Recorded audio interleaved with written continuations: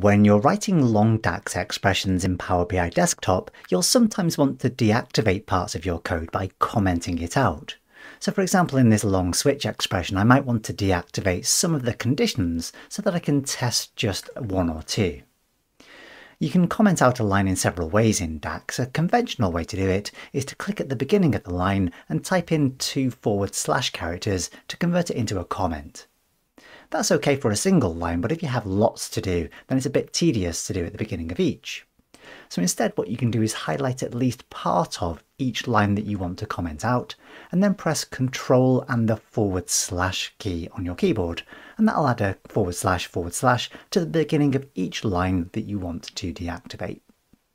To reverse the process, again, just highlight at least part of the lines you want to bring back, then press Control forward slash again, and that'll uncomment those lines. So there you go, a quick keyboard shortcut for quickly commenting and uncommenting lines of code in DAX. Hope you found that one useful. Thanks for watching. See you next time.